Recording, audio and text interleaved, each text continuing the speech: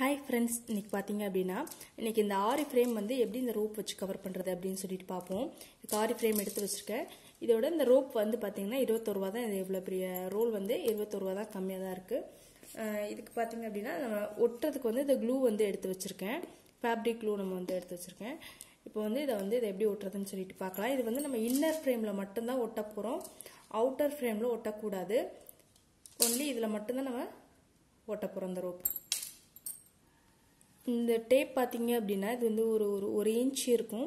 இது வந்து red line mark பண்ணியிருக்கு. சிலது வந்து பிளைனாகவும் ஒயிட் கலர்லையும் கிடைக்குது. இப்போ இதை வந்து நம்ம ஒட்ட ஆரம்பிச்சிடலாம். ஃபஸ்ட்டு ஒரு இடத்துல நம்ம வந்து க்ளூ வந்து ஃபுல்லாக வந்து அப்ளை பண்ணிக்கலாம். அப்ளை பண்ணிவிட்டு அது மேலே வந்து இந்த ரோப்பை வந்து நம்ம சுற்றிட்டே வரப்போகிறோம்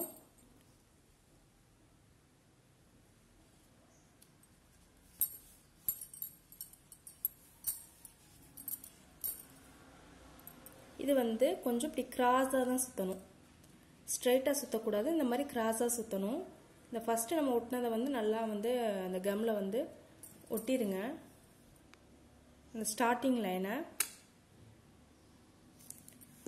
அதுக்கப்புறம் நம்ம சுற்றி இதே மாதிரி நம்ம ஒட்டிகிட்டே வர வேண்டியதான் நேராக வராது. இது வந்து கொஞ்சம் வந்து கிராஸாக வரும். இந்த மாதிரி கிராஸாக வந்து நம்ம சுற்றுற மாதிரி இருக்கும் அந்த டேப்பை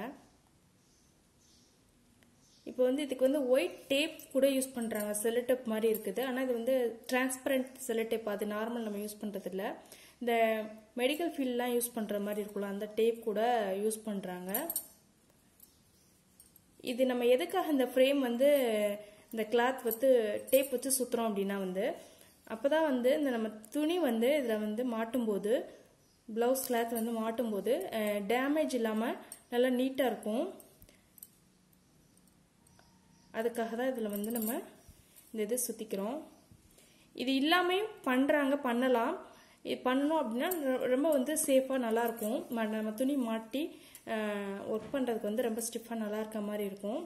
இது பண்ணிக்கிட்டால் வந்து பெட்ரு இதே மாதிரி வந்து ஃபுல்லாக வந்து நம்ம ஒட்டி முடிக்க போகிறோம் இந்த மாதிரி கிராஸாக வந்து சுற்றிட்டே வந்து வரணும்.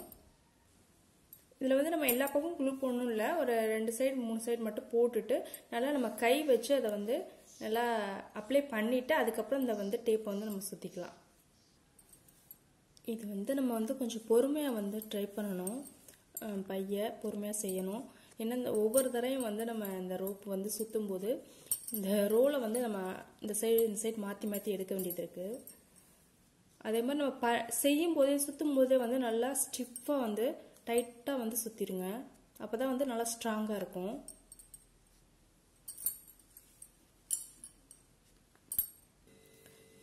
க்ளூ வந்து கொஞ்சம் கொஞ்சமாக போட்டுக்குங்க. ரொம்ப தூரம் போட்டுறாதீங்க. அப்புறம் க்ளூ வந்து காஞ்சிருச்சு அப்படின்னா நம்ம ரோப் வந்து ஒட்டும்போது ஸ்டிஃபாக இருக்காது. அதுக்காக கொஞ்சம் கொஞ்சமாக போட்டுக்குங்க. நான் அவ்வளோதான் ஒட்டி முடிக்க போகிறேன் இந்த ரோப் வந்து பார்த்திங்கன்னா ஆரிய மெட்டீரியல்ஸ் கிடைக்கும்ல அந்த ஷாப்லேயே நம்ம கேட்டோன்னா தருவாங்க.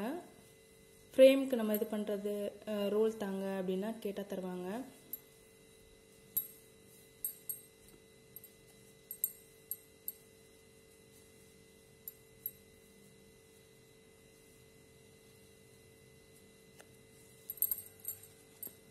அவ்வளோதான் ஃபுல்லாக வந்து ஃபினிஷ் ஆயிடுச்சு.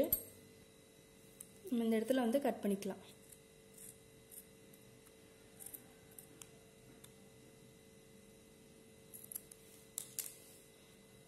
இந்த இடத்துல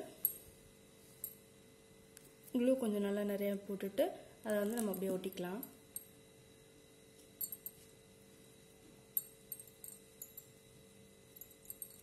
விட்டுட்டு இந்த மாதிரி கை வச்சு நம்ம ஃபுல்லாக வந்து இந்த ஃப்ரேம் ஃபுல்லாக வந்து இந்த மாதிரி நல்லா ப்ரெஸ் பண்ணி விடுங்க ரொட்டேட் பண்ணி.